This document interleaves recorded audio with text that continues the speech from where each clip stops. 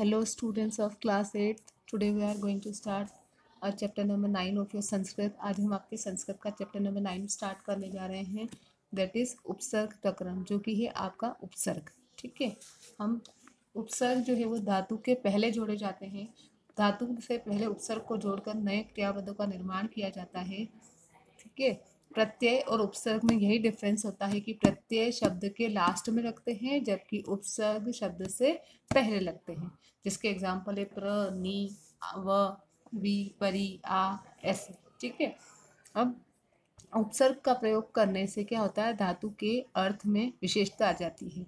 कहीं पर उस धातु का अर्थ चेंज होकर नया अर्थ बन जाता है, कहीं पर उसका अर्थ का विलोम हो जाता है, यानी उसका विपरीत हो जाता है।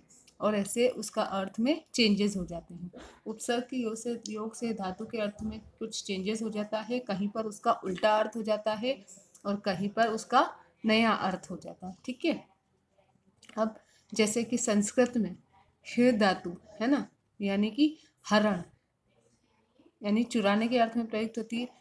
हर धातु में गनी प्रत्यय के प्रयोग से हार शब्द बनता है, ठीक है? किंतु इस एक हार शब्द के भिन्न उपसर्गों के प्रयोग से अनेक अर्थ होते हैं। लेकिन इसी हार शब्द के अलग अलग उपसर्गों के प्रयोग से अलग अलग अर्थ बन जाते हैं। जैसे कि प्र प्लस हिय किया तो प्रहार, यानी कि चोट या आघात। वी प्लस हा किया तो विहार, यानी कि घूमना, भ्रमण करना।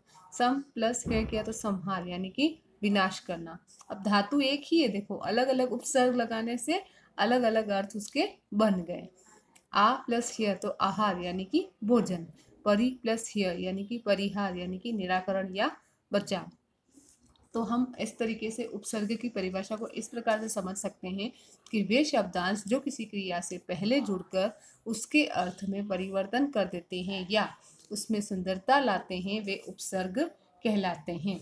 उपसर्ग साधारणतः देखे जाए तो द्वादविंशति यानी कि बाईस होते हैं और साधारणतः कितने होते हैं ये? बाईस होते हैं, जो इस प्रकार है। प्र कौन कौन से होते हैं? बाईस, देखिए आप। प्र, परा, अप, सम, अनु, अव, निस, निर, दुस, दूर, वी, आंग, नी, अधि, अपि, अति, सु, उत, अभि, प्रति, परि और उप।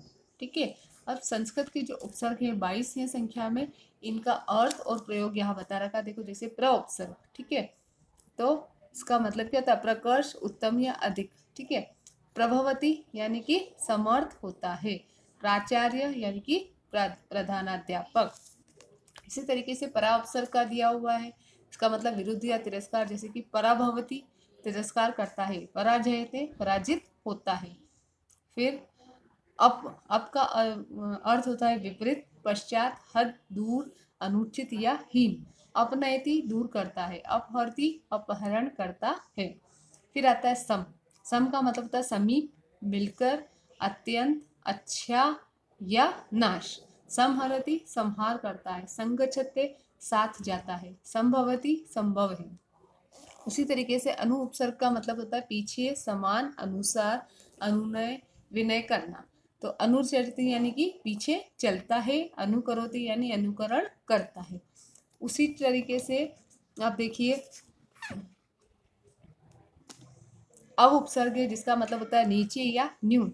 अवतरती यानी नीचे उतरता है, अवनमती यानी झुकता है, अवगछती समझता है, अवरोहती उतरता है। फिर आता है निस। निस का मतलब होता है निषेध अब यानी नीचे न्यून बता दिया मैंने निस का मतलब निषेध बिना शून्य, विपरीत या रहित। तो निष्कलंक यानी कलक से, कलंक से रहित। निशंक यानी शंका रहित। निष्पाप यानी पाप रहित। इसी टाइप से बच्चों देखो, आगे आपके सारे ये उपसर्ग भी दिए हुए हैं और इनके अर्थ भी दिए हुए हैं, है ना? जैसे निर का शून्य रहित, मुक्त और बाहर। तो निर्गछति यानी निकलता है निर्भिलषति यानी नहीं चाहता है, निर्वधि यानी कि सीमा रहित। ऐसे दुष्पसर्ग आ रहा है, इसका मतलब होता है कठिन, असाध्य या बुरा। दुष्कर यानी करने में कठिन, दुस्तर यानी तैरने में कठिन, दुष्ट यानी बुरा और दुर्स्वप्न यानी कि बुरा स्वप्न। वैसे ही दुर्ग यानी वही बुरा और कठिन है। ठीक है? तो यहाँ पर दुर्व्यवर्ती यानी बुरा व्यवहार करता है, दुराचरती, दुराचार करता है, दुर्लभ यानी मिलने में कठिन दुर्भाद समझने में कठिन दुर्गमह चलने में कठिन। ठीक है? फिर यहाँ पर भी उत्सर्ग दिया हुआ है। विशिष्ट, बिना रहित, अधिक, भिन्न, रुकना इस टाइप से दिए हुए। तो बच्चों, आपको ये सारे जो यहाँ पर ट्वेंटी टू उत्सर्ग दिए हुए, आपको जो जो रेड वाले जो दिए हैं, वे उसके अर्थ हैं और उनके प्रयोग भी दे रखे हैं कि कैसे आप उनका प्रयोग कर सकते हो, ठीक है? आप सबको ये ध्यान से अच्छे से केयरफुली रीड करना स्टडी करना है और उसको समझना है। जहाँ कहीं आपको प्रॉब्लम आती है, आप पूछ सकते हैं। उसके बाद ये पाठ्य पुस्तक पर आधारित उपसर्गों के कुछ उदाहरण दे रखे हैं, जैसे कि ये प्र उपसर्ग, भू है तो प्रभवंती है ना, प्रमत्त, प्रवर्तनते, ये आपकी, जो आपकी टेक्स्ट बुक में जो आए हैं, उपसर्ग वाले जो भी शब्द हैं, वो यहाँ पर उन सभी के एग्जाम्पल्स दे रखे हैं, जिनको आपको रीड करना है। उसके बाद, यहाँ पर यहाँ से आपके अभ्यास स्टार्ट होता है तो आपको क्या करना है कि सम उपसर्ग युक्त पद कौन सा है? वैसे तो इनके एग्जाम्पल्स इनके जो आंसर्स है, वो यहाँ पर दे रखे हैं आपके। तो आपको क्या करना है, इसमें जो राइट ऑप्शन है, उसको चुनना है।